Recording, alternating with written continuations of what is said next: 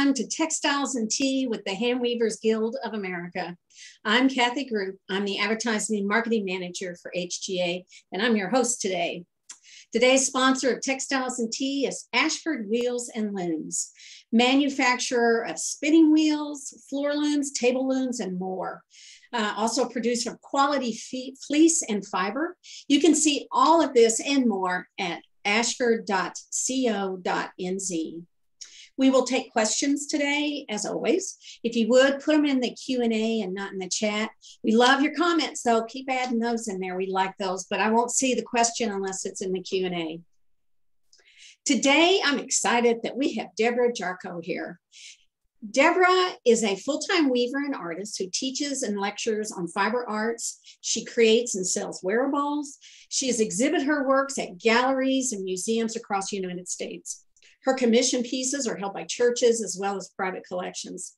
Deborah loves helping people with discovering the joy of weaving. And during the past several years, she's focused her teaching mostly on rigid heddle looms.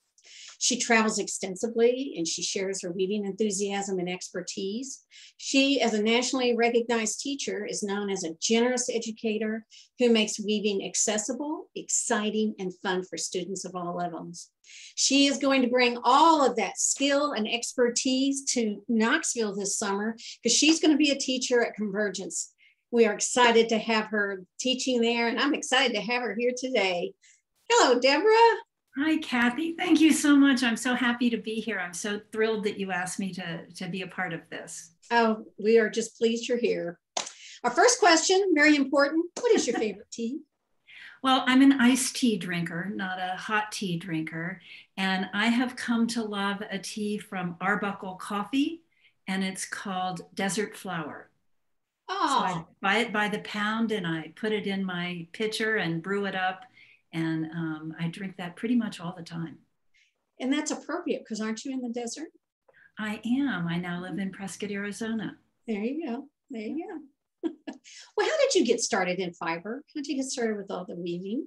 Well, like many of the guests that you've had on the show, I've always been involved in some sort of fiber art, you know, my whole life.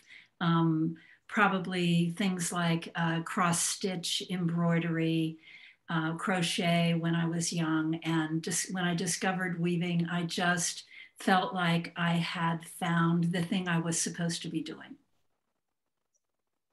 Um, what drew you to Rigid Heddle and what keeps you there? Why is that?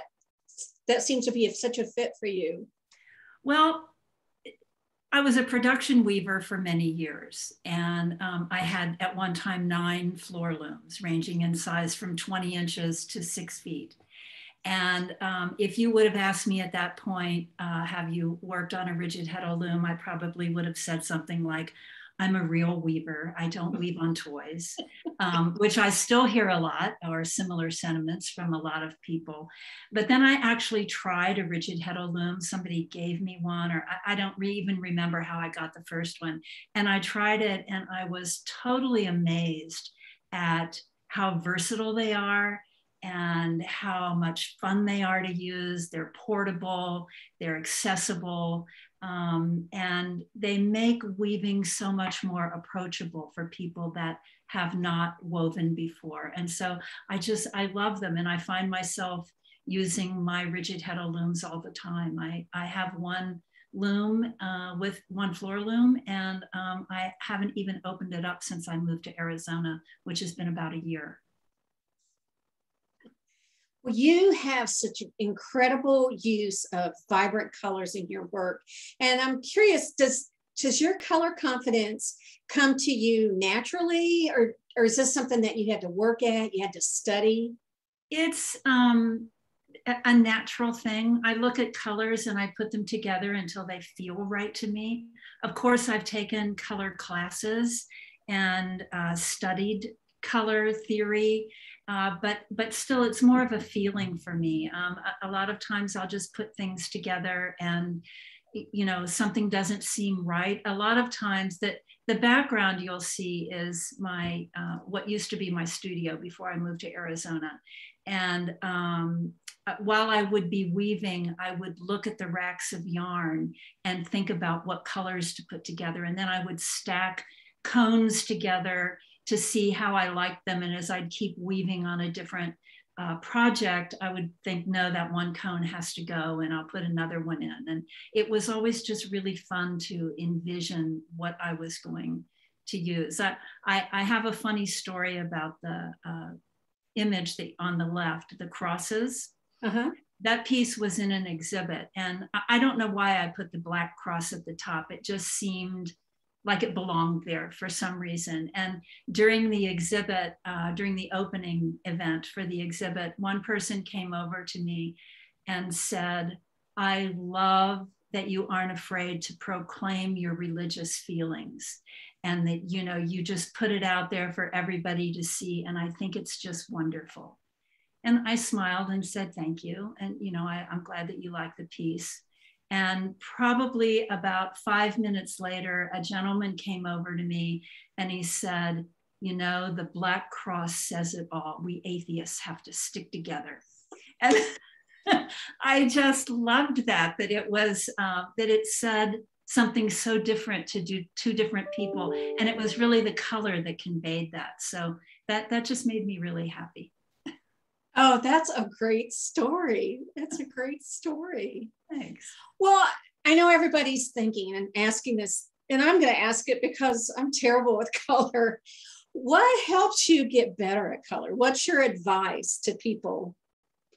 I, I think to, to study it, there are lots of good um, you know reference books there are lots of classes that people offer on color but but really i think it boils down to your gut and you know like if it, it, it if it feels right to you then you should go with it yeah i think a lot of times we get so caught up in doing it right yeah we don't listen to that yeah well, I'm always struck by the initiatives that you take and like teaching at a predominantly knitting and crochet conference stitches.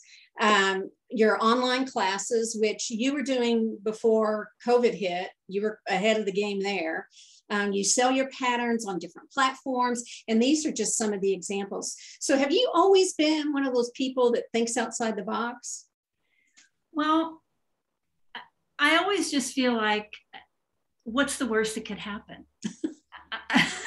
you know, it, it's like when, um, I, I, don't know, when somebody asks me to do something or when I think about doing something, it's like, what's, what's the worst that could happen? It's just yarn. And I, I mean, you know, how, how bad can it be? And um, I don't know. I just, I love playing around with yarn. I, when I first started weaving, I would always put on a warp that was longer than whatever piece I had intended, so that at the end I had a lot of room that I could just play around. And it's like, oh, I think this color would look horrible in there, but I'm just going to put some in to see what if. And sometimes I came up with some things that really um, excited me, you know, because it was just something that I wouldn't have done in a piece on purpose until I had tried that experiment. Um, things like uh, the Craftsy classes that I have, when I was first approached about that, I, I, was really nervous and I had never done anything on camera before. And it's like, I mean, what's what's the worst? I could totally humiliate myself. I mean, that's not going to kill me, right? and the the first um, session that I did when I went there, we I was so nervous and we started filming and the red light on the camera is is on and I'm looking at it and we we were filming for about 10 minutes and I just looked at them and I said I can't do this. I forgot how to weave. I don't know how to do this anymore. I mean that's pretty bad. Um, so you, know so they just said okay let's take a little break and and then it was okay after that. It's like uh, okay it was awful so now it can only get better well, that's so I, yeah, I always just, you know, it's like I, I think I'm pretty fearless in that respect. Um, I, I love teaching to knitters because weaving is something new to them. and uh, in it, to begin with. And so it's really fun to do that. And I've had to kind of um, rethink my terminology and things like that. And now I teach a lot of times using knitting terms rather than weaving terms for the mm-hmm. yarn because it's more relatable. And I just, it's just really fun to try new things. I mean, really, it's just yarn. I'm not gonna, nothing bad is gonna happen. I'm going to have to record this, just that segment. And because we're working on Spinning and Weaving Week and we're getting our vendors lined up to do live video mm-hmm. and um, online. And that's what I'm hearing from. I can't do that. I can't do that. I'll, I'll go on there. I'll just freeze. And that's kind of what I've been saying to them. What's the worst that could happen? You know? Exactly. So, so I you're to, embarrassed. I'm going to tell them to watch this. Deborah says it's okay. Yeah. There you go. I mean, well, when I first started doing things like um, I've taught on a couple of cruises, and I thought, how would that work? How, how, how does that even work? Weaving on a cruise, you know, there's so much equipment and stuff, and you know, it's just like I'll figure it out, and and it's it's been really fun. Um, you know, I've had a lot of encouragement from people, so it's it, it's been great. So you did Rigid Heddle on a cruise? Yes, yes. Oh, Got another one planned in April. So really? transatlantic cruises are good because you have all those days at sea when you can have class time, and then you get to go visit a lot of cool places. So yeah, oh April, God. Fort Lauderdale to um, Rome. I want to go. Come on. Don't you need an assistant? well, um, another good example of outside the box thinking are your tubes.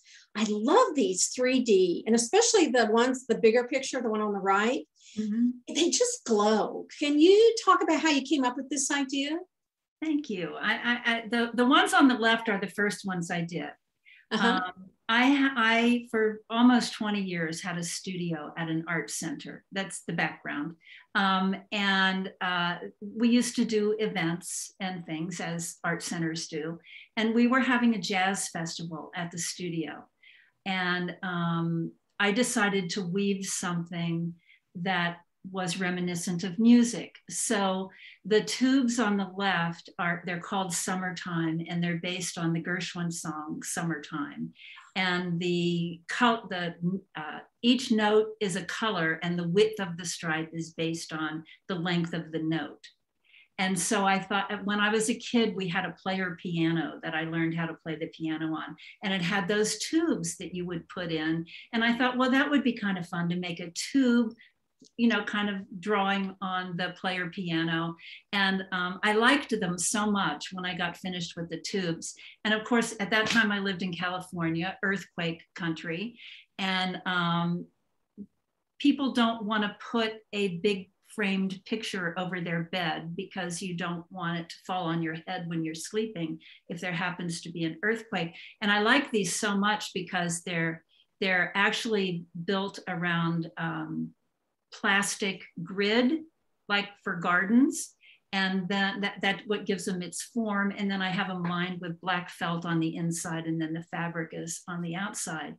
And um, if they would fall on your head when you were sleeping, it wouldn't be a big deal. They'd just kind of bounce off. So um, anyway, so I really liked the tubes and I started, I did a whole series of tubes and the orange and gold ones, um, I really liked those. Of course, they're color studies, um, all on one warp, but each tube section is a different weft color. And the, the gold, they're chenille and the gold chenille just kind of reflects the light so nicely. In a, in a gallery exhibit, of course, you have all the nice lights that shines down on everything. And um, so it was just really nice uh, that they showed off really well, I think. You, you know, uh, the environment helped them out. Yeah, when I first saw them, we were talking, I said, are those lights? You know, I just, I knew there was some kind of light bulb in the sun because of that glow. It's great. Thanks. Um, the another piece that, that are coming up right now are these liturgical hangings and they are truly amazing. I, I would love to walk into a church and have these greet me. So, a couple of questions. One, how did you um, design this? What was the design process for something this large? And how did you find a church, or did the church find you um, to do something that original? you know, with a fiber.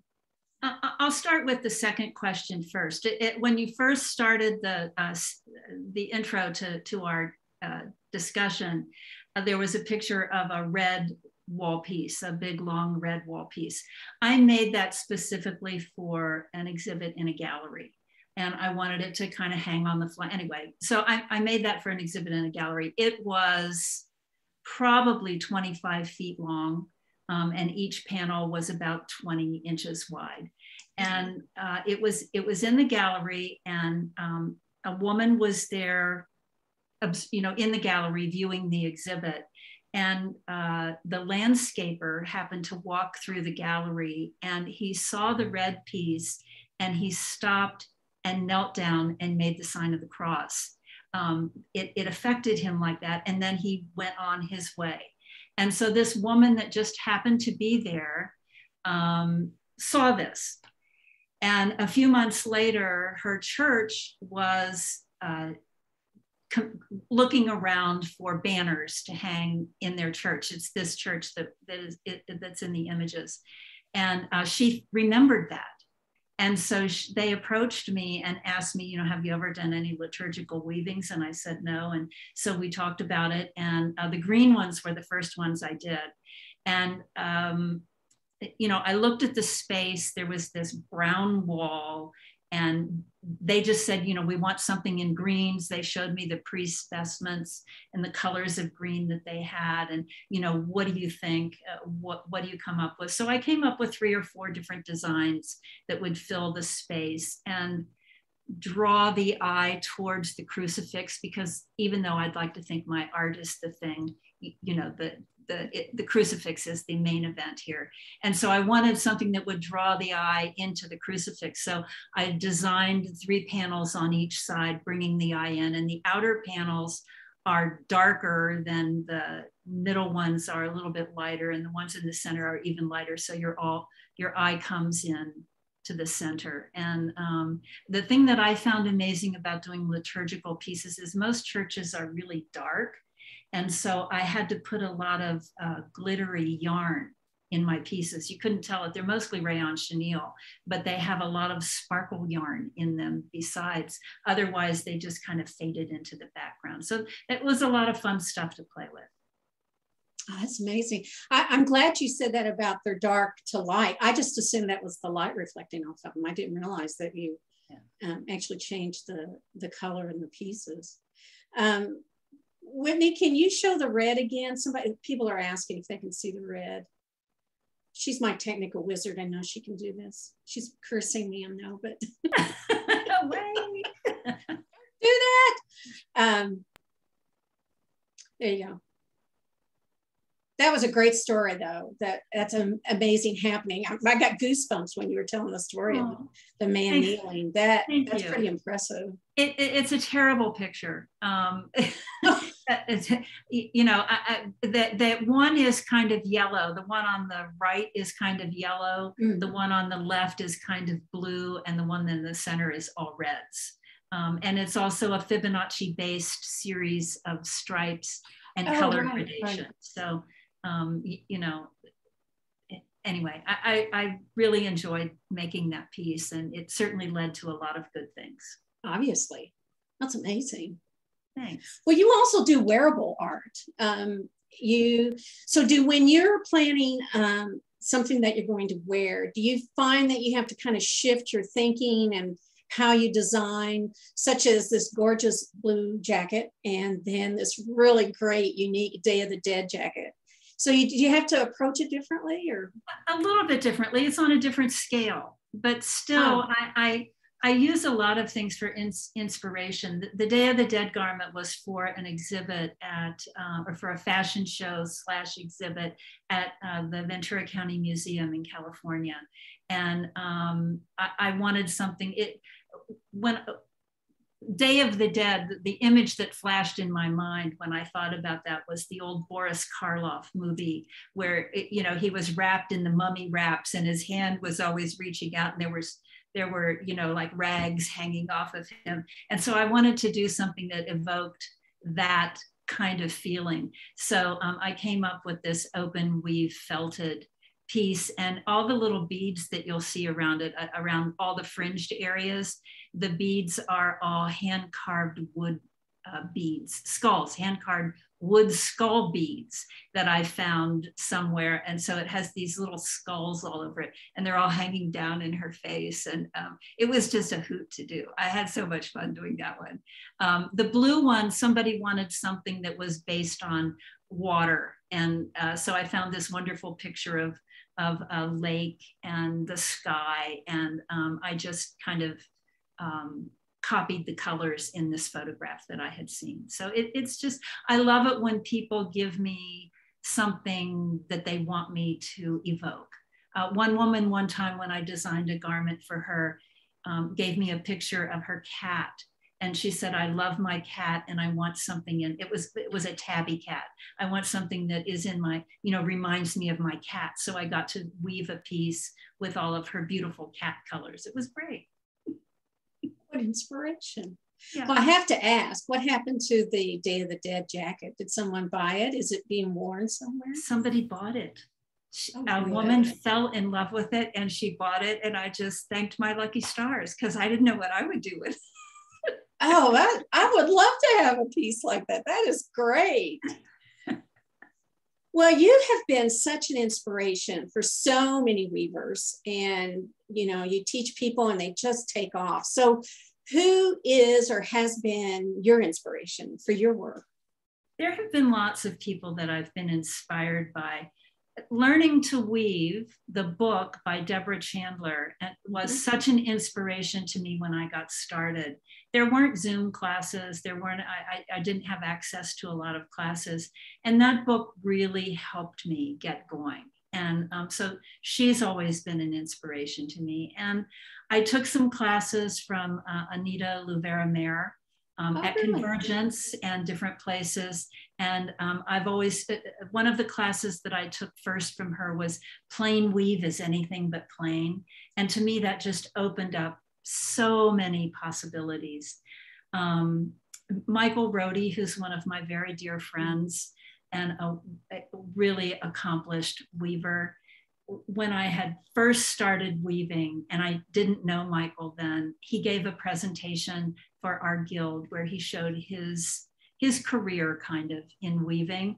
And he showed a picture of one of the first rugs that he ever wove. And it was not one of his best pieces. I mean but he was showing it because it's where he came from. And that inspired me. It's like if if michael started there uh, there's hope for me.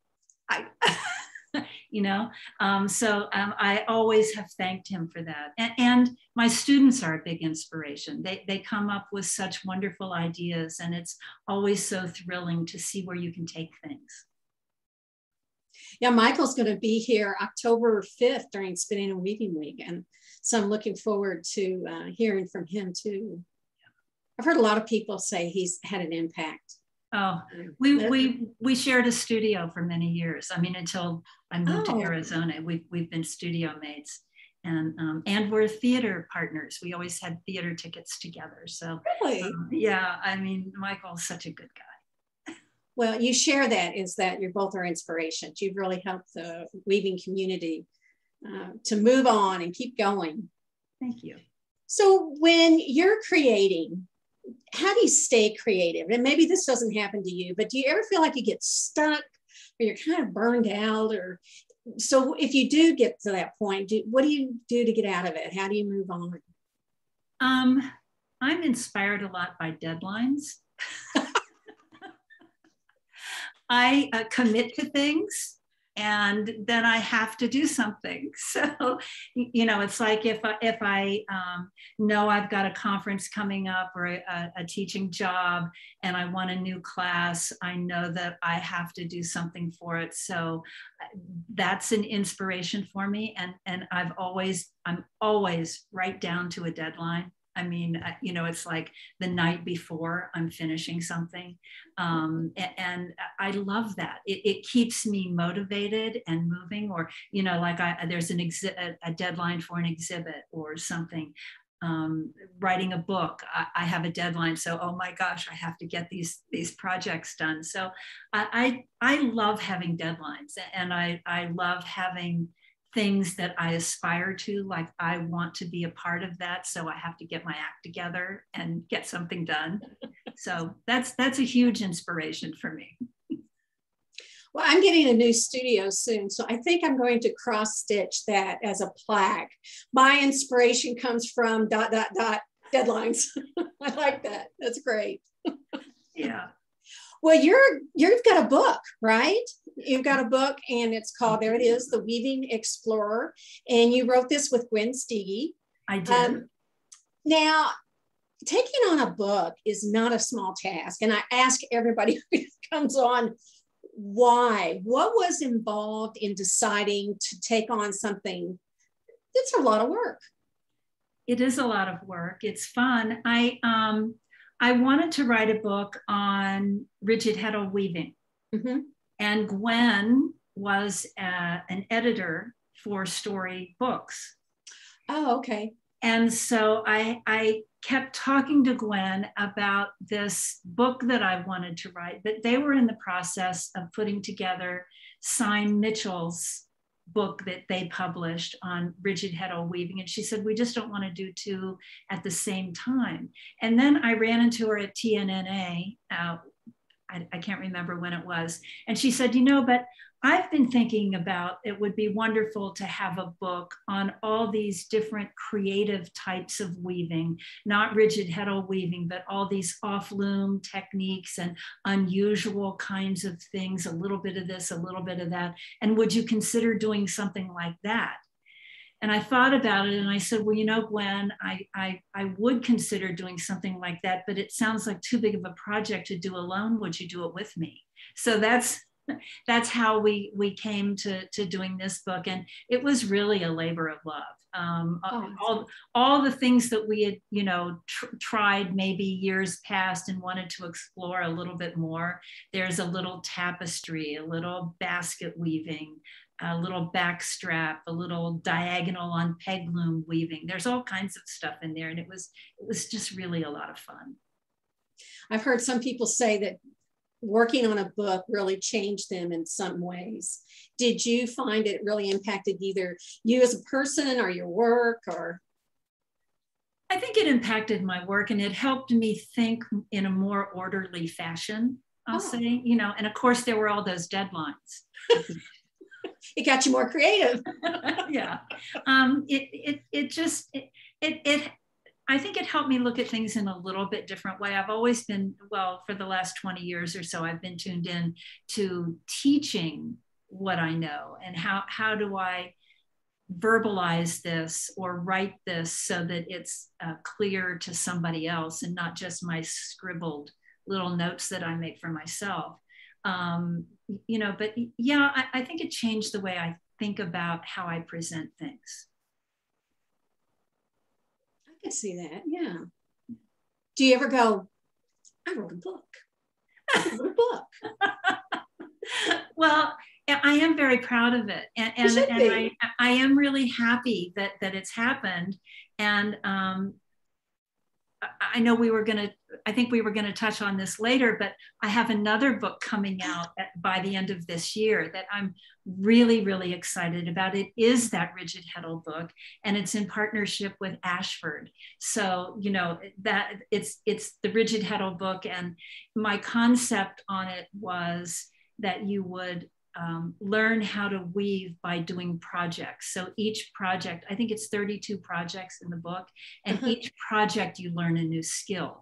The, the ah. first one being just a beginning, a, a weave, you know, weave a scarf, beginning ideas, and there's all sorts of good ideas on yarn substitutions because you know the yarn is always discontinued or a lot of times when you go to do a follow a pattern or do a project and so i talked a lot about what yarn you could substitute and what you needed to look for and how you could make it different. So I'm really excited about it. And it's like, it's, it's so, it, it really is exciting to, to have a book or books. So thank you, Ashford.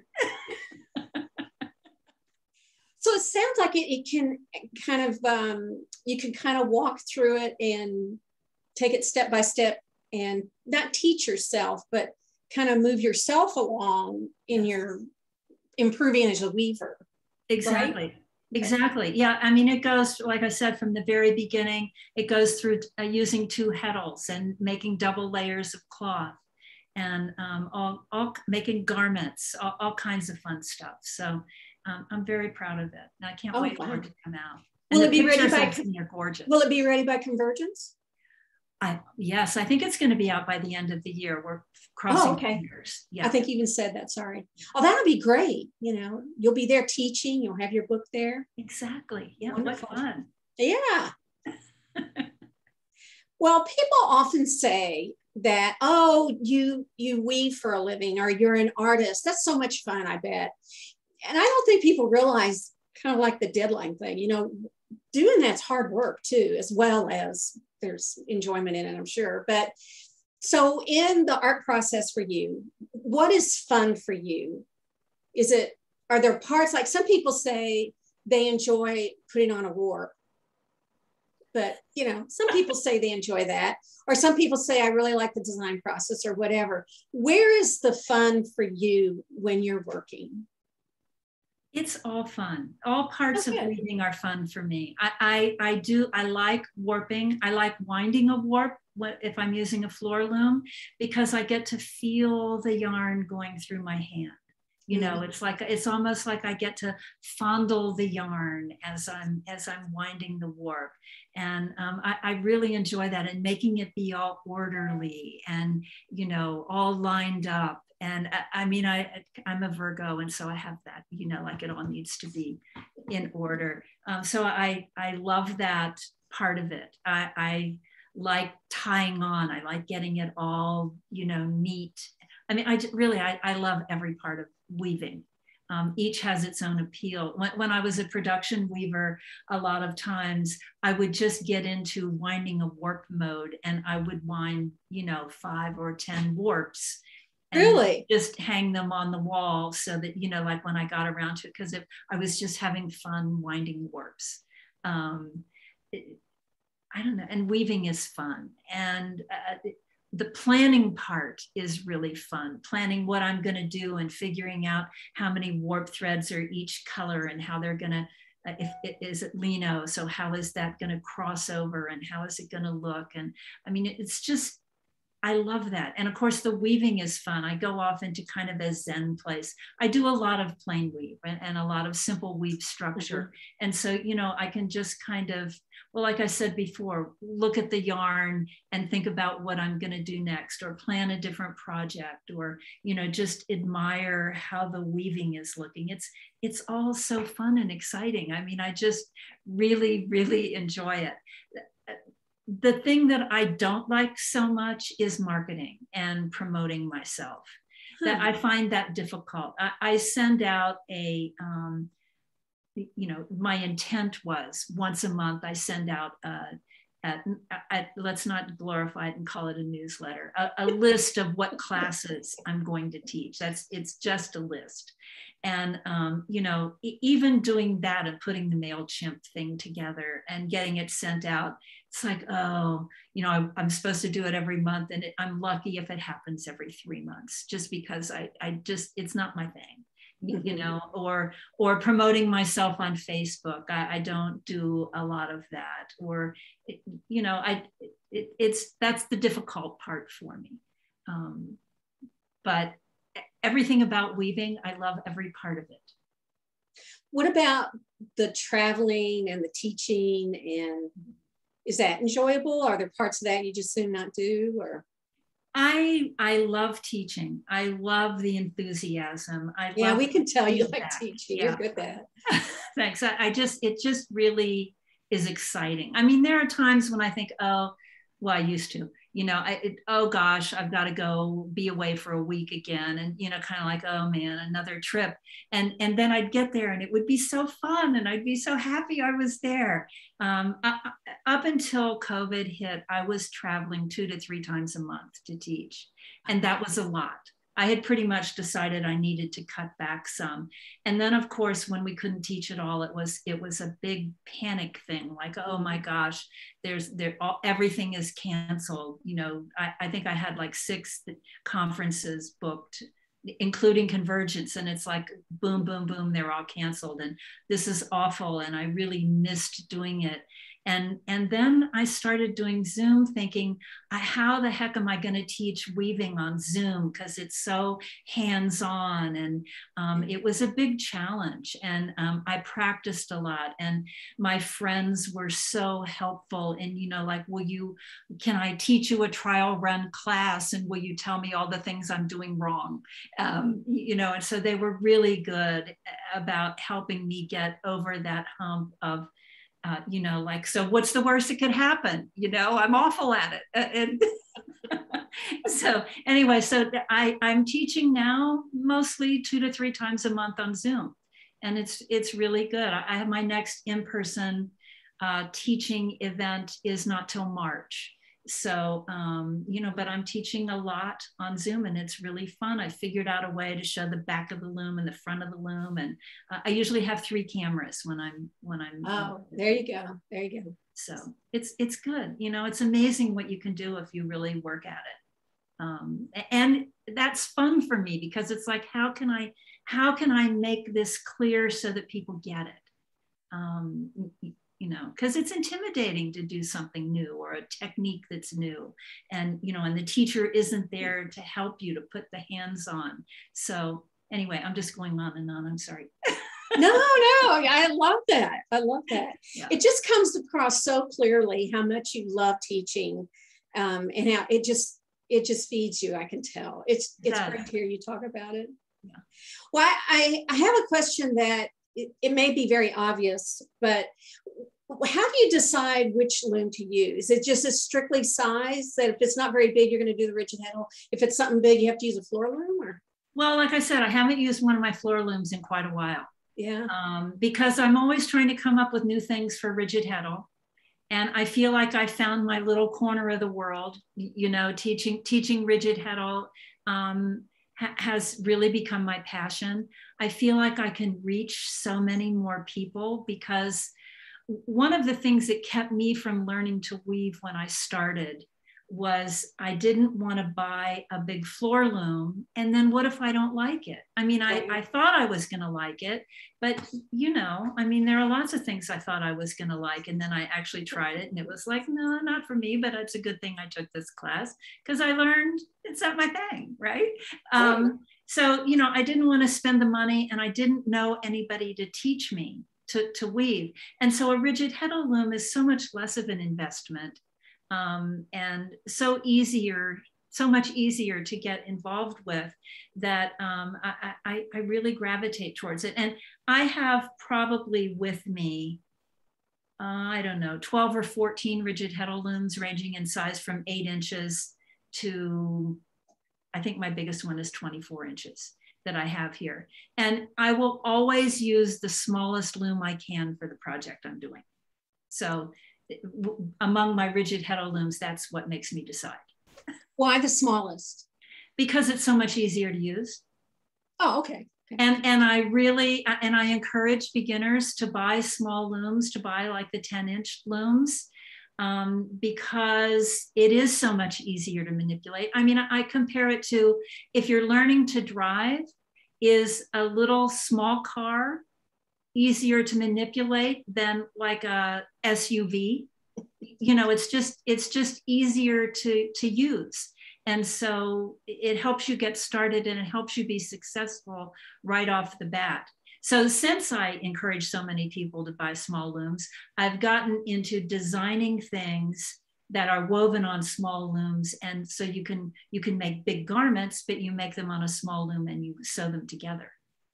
So that's one of my uh, missions now. Your mission, I like that. Well, I feel like we've kind of answered this next question, but in case we haven't covered everything, what's next for you? So you've got a book coming out. You're going to be at Convergence. You start teaching in person in March. March. March. What else is coming on around? Well, there's there's a, the cruise to Rome in April. That's pretty there you go. Oh, yeah. you're going to Rome? Rome, yeah, from Fort Lauderdale to Rome. Um, and then I've got a couple of tours that I'm uh, going on, uh, help, hoping other weavers will come along with me. Uh, next September is a tour to Peru uh, with an optional extension to Machu Picchu. So we're going to be exploring all kinds of weaving things there in Peru. Uh, we'll be in uh, uh, Cusco a lot. So, mm-hmm. um, you know, it'll be lots of fun.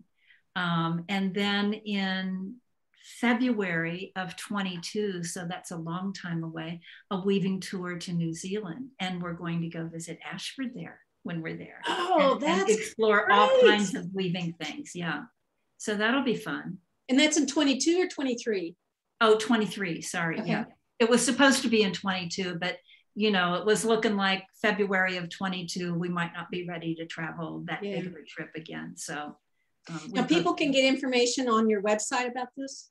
Yes, if you go to the website, I have one page that's called classes and class schedule. Everything's on there. And it always has links to whatever, you know, wherever I'm teaching or the tours or the cruises or whatever. So I'm, I, I just feel like I'm so lucky that I get to do what I love and interface with so many wonderful people. I mean, it's just, what could be a better job?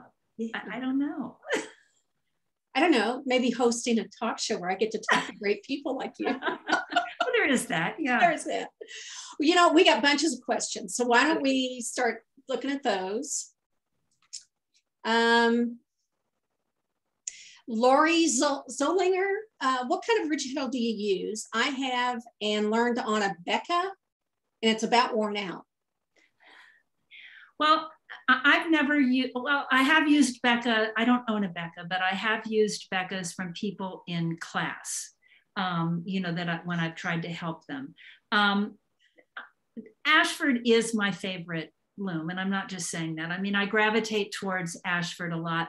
I love their little 10 inch SampleIt loom uh, for people to get started with. Um, if you're looking for bigger looms, I mean, it, you can get a rigid heddle loom anywhere from eight inches to 48 inches wide, which is oh, huge. oh really? I've never seen one that big. That's fine. yeah. So so the Ashford SampleIt loom is a really good beginner loom. It's inexpensive. It's easy to use. It's already equipped for double heddles for when you're ready to go there. So it, it's a good one to get started with. Schacht makes some really good looms also. They have two different models. Um, one kind of budget the Cricket, and the other they're they're um, good. I mean, they're you know higher end, uh, more finished wood, that kind of thing. The flip, um, and they range in size from the Cricket is 10 inches, and you can get the flip up to I think 30 inches. I, I think that's as big as they go. They go 15, 20, 25, 30. Um, you know, also good looms. Um, um, Kromski makes some good looms. The uh, my favorite of theirs is the Presto. It's their newest model. It's a really adorable little loom. You can get it in uh, 10 or 15 inch models. But I, I, I really do. I find when I go into, and I have all all of those. I mean, I have. It's uh, as I, as I tell myself, since I'm teaching so many people on different kinds of looms, it's my job to make sure I have one of every kind yes. so that I can try them out and be familiar when I need to help somebody. That's right. That's your story and you're sticking to it. Exactly. Yes.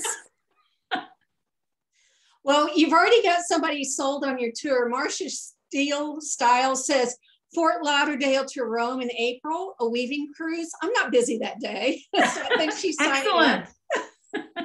Um, Carol Davinsky said, and I'm assuming she's talking about the um, liturgical work. She says, lovely gradation of colors.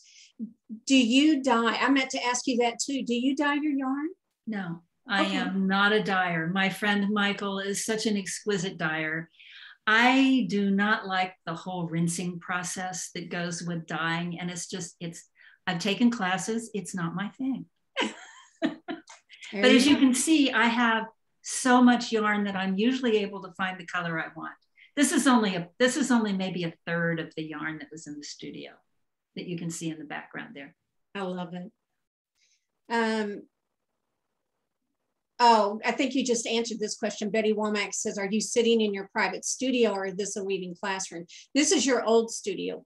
This is a picture of your old studio behind you, right? Right. And it okay. was my studio. I did do some classes there, but but if people were going to take a class in my studio, they didn't use my floor looms. They brought their own. I mean, they brought their own tabletop or or small loom because I always had projects on all of my looms. I had nine floor looms at one time, but um, it, yeah, this I, I moved out of my studio last year or earlier this year, I should say, and we're in the process of building a house, and I'm building a studio into the house. So right now I'm in a little teeny room and um, that's why I have the virtual background. now, when you do the cruise, do they have to bring their own loom or do you provide those? Uh, generally, they bring their own loom, and if they if they don't have their own loom, I can I can sell them one to bring on the cruise. But if if I had to take all the looms there, it would be too much. Yeah. And that and all the projects are designed for 10 inch wide looms. So they easily fit in a suitcase. You know, the, oh, and, oh, okay. All right. And and usually one of the projects is, you know, a wider piece. So we see how to sew something together. All right, Pamela Casey said, will you have your Rigid Heddle book for sale at Convergence? I think we determined yes, you will, right? Um, she said she has signed up for two of your classes and she's looking forward to learning from you. Oh, so, wonderful. Wonderful, Pamela. We'll see you in Knoxville. Um, Rondi Schmidt, are these pieces warp and weft chenille or just the warp? Oh, when you were talking about chenille, were they the warp or the weft or both? Both. They're both. Really? Your warp was chenille? Yeah, warp and weft chenille.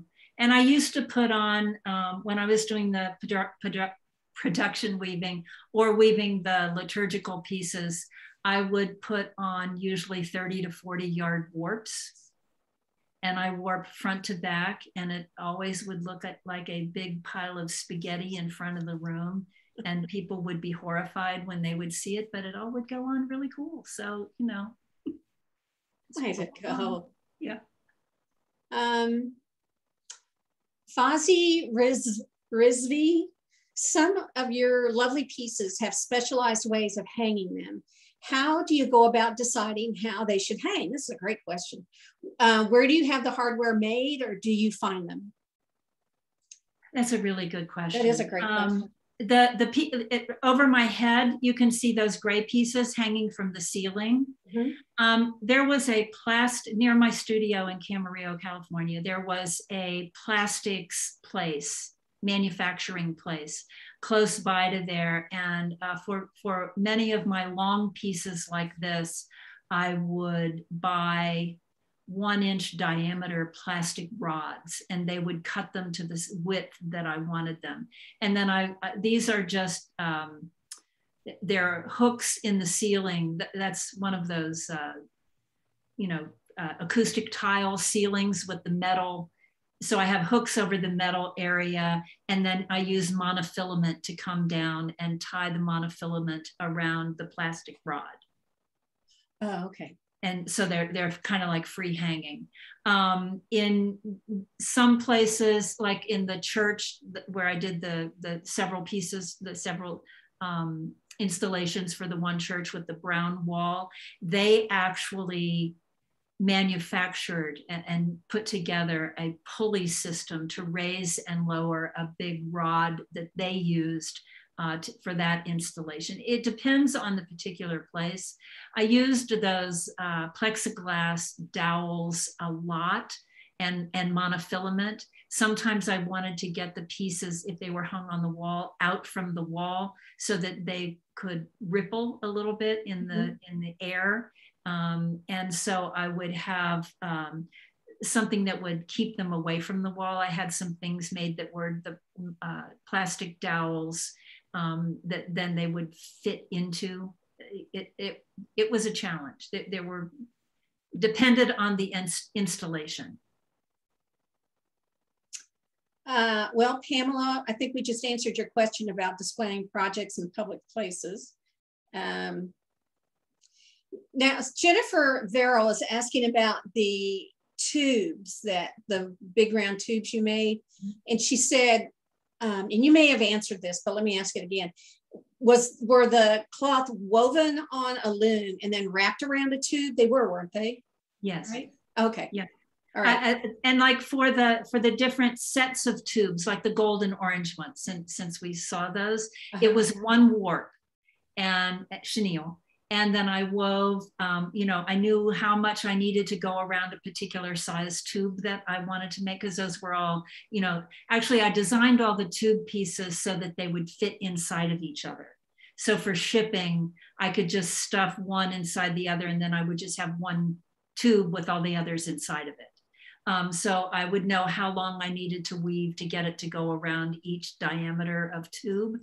And so I would weave that in a color, then go to the next color.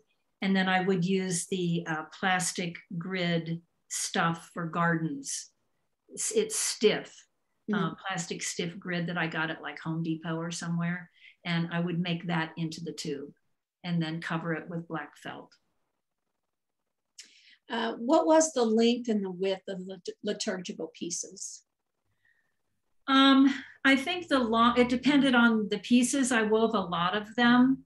Uh-huh. Um, I, I think the widest piece was about 50 inches wide. I, I don't think you saw any of those here. That was a, a Unitarian church I did. I think the widest piece was about 50 inches wide after I took it off the loom and wet finished it. Um, the narrowest was about 10 inches. That was one image that we did see in the white and gold installation. And that one had panels that were 27 feet long. And because I wanted it to ripple some in that particular piece, I, um, even though the warp was rayon chenille, I used rayon sewing thread for the weft, two panels, 27 feet long.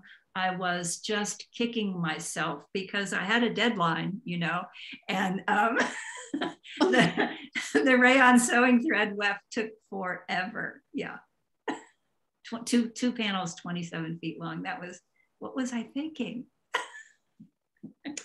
You're a better woman than me. oh my gosh. Um, Rhonda Schmidt wants to know, do you spin? No, I've tried spinning. I had a spinning wheel. Uh-huh. and um, it- you know I, I spun a little bit and i enjoyed it but then i realized that my spinning wheel was sitting on my fireplace hearth um, and, it, and the only thing that was being spun on it was cobwebs. And so i gave it away um, you know. Um, I think you've got a ringer here with the question. Uh, Kathleen Staples said, Your classes are such a great combination of detailed and comprehensive instruction and freedom, fun, and spontaneity. Um, can you talk a bit about that? thanks Kathy. How much do you have to pay her? no, I'm sure it is. I'm sure. um, I, I think it should. I think weaving should be fun. I mean, that's the, Yeah. you know, people should have a good time. And I, I- am, a- you know, I always felt like there were two schools of thought. There are the color texture weavers, and there are the complex weavers. I never fit into. I, I've done complex weaving, but it's not my thing. You know, I I I, I prefer to uh, be more freeform in what I'm doing, and you know that throws your complex pattern off. So I I I just want everybody to have a good time yes, there are principles that I like to impart, but you know what? If it doesn't turn, I mean, again, if it doesn't turn out the way it was originally intended to be, it's it's cool. It's still cloth. It's fabulous. You know, so have a good time and and and enjoy what you're doing. I always feel like no matter even if I don't like my piece when I'm done, it's like reading a book what do you have to show when you finish reading a book? You could spend a lot of time reading a book, but you've gained knowledge and you've enjoyed the process, right? Mm-hmm. So when you're weaving, if you end up with something that you really don't like, you've still enjoyed the process and you've learned something about weaving.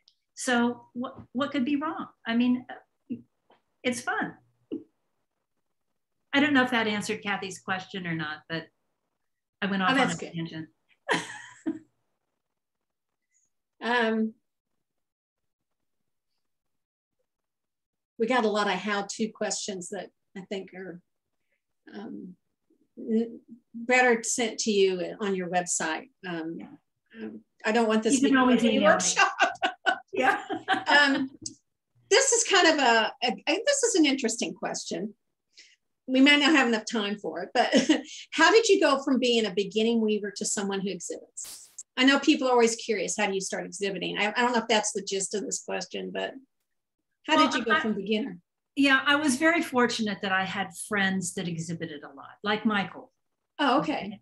And so, um, and my other studio mates who have also been quite an inspiration to me. Um, I just kept doing stuff. And my first exhibit piece was at Vancouver Convergence, however long ago that was. I entered in into the exhibits the hga exhibits i entered pieces because there were so many categories you could enter in and i would enter stuff and mostly i got rejected and okay that's what happens but but my first piece was a scarf in in one of those exhibits. And i was thrilled. And it it just you know and then going there and seeing it on the wall and there's my name on the wall. And i mean how cool is that? I was just so thrilled that i wanted to keep on doing it. And i think the big thing is not to be afraid of being rejected you know again what's the worst that can happen? It, they, they don't take it but that's okay because i've still learned something and i've put myself out there and um, you know I, I can try again.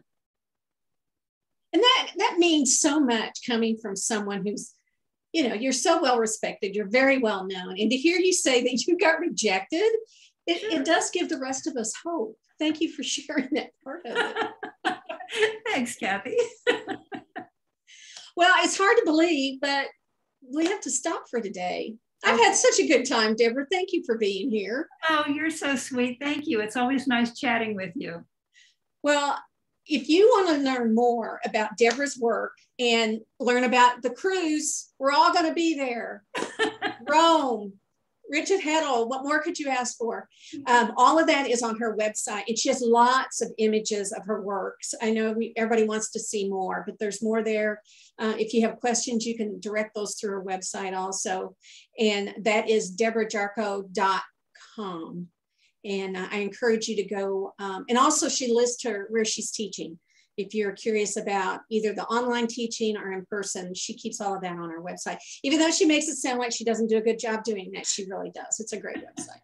Um, I do want to say thank you to Ashford Wheels and Looms. Um, come, you can go see their new yarns. Um, they have new equipment. Speaking of Rigid Heddle, their new Rigid Heddle stand is out. And I guess it's one size fits all their Rigid Heddle looms. Um, they have an e-ball binder. I want to see that at Convergence. I want to see what that looks like. Um, they they announced their uh, textile awards on there and where you can purchase their products. They'll tell you where to head to your local distributor of Ashford. So go check all of that out at ashford.co.nz. If you would like to sponsor Textiles and Tea or your guild or your business, um, please go to uh, the website and there's all kinds of information how you too can become a sponsor. Uh, we want to also supporting textiles and tea is the Fiber Trust. If you would like to see more programming like this, uh, please donate or join, and you can do that on weavespindye.org.